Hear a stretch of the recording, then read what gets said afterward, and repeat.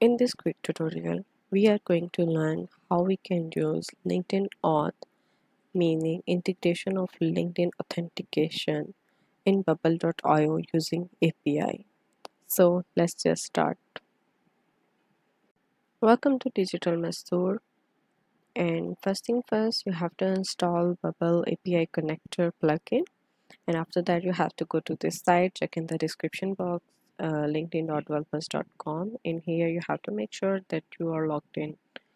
And uh, after logging in uh, we will see this screen. And here you have to put the company profile URL so my profile already has a company so I'm just using it if you don't have any company URL then you can just use anyone. So it's not a big deal so I'm just gonna paste it here. It's popping up the name of the company. As the purpose of the video is for bubble login. So I'm just gonna name this app of bubble login. I'm gonna paste the same link here and adding the slash privacy.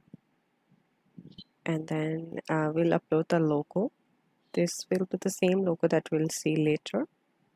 So I'm gonna add this Google logo and check this box and create app.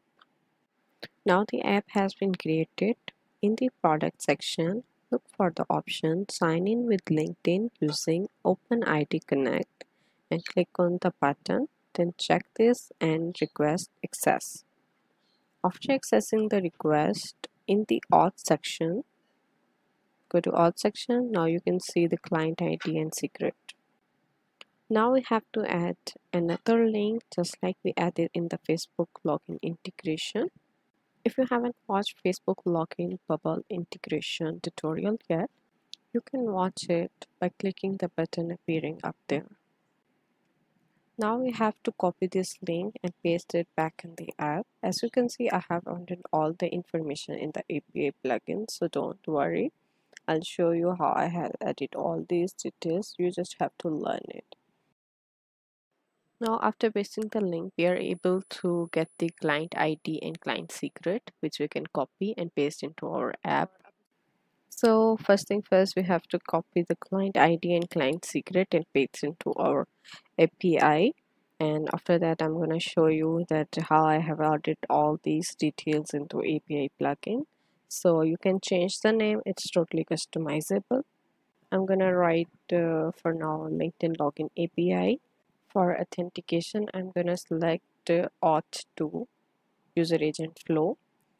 Other than client ID and client secret you can just copy paste from the description box because uh, these two have to be changed every time.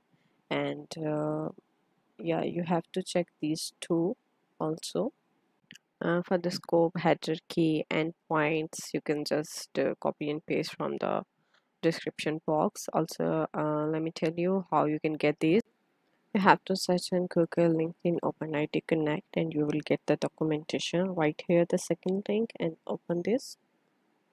And uh, yeah you have get the sign in with linkedin using openid connect the whole documentation. Take your time and read it the whole json response and everything. Also i'll add this link in the description box. You can get it let's go back and uh, see the call. I have added only one call LinkedIn API call which is the data type. And uh, how I have added this link you have to get it uh, till the projection. You can add it from here. And the values are inside the value box. Again you can check the description box. You can copy it from there and paste it in the value box. Yeah that's it. Now if I try to run it I won't be able to because I have to initialize the call before running it. So let's just go back in the design tab and uh, we'll initialize the call.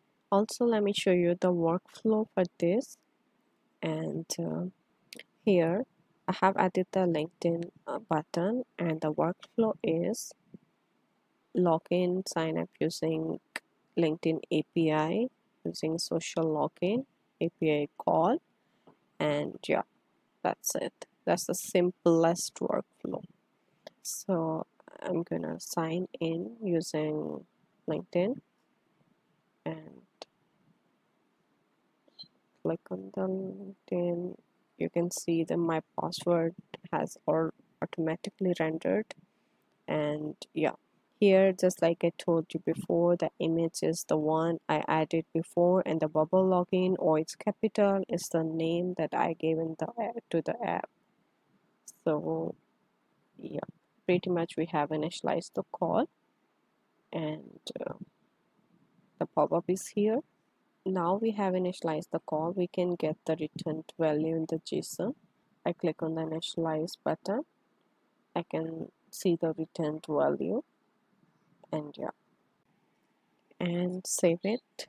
We are almost done. If I go back and now I try to log in I will be able to log in without entering my password and any details. So I'm just gonna show you logout and if I log in using LinkedIn uh, I will uh, yeah automatically logged in. So yeah thank you so much for watching. And that was the pretty much tutorial and hope you have liked it thank you so much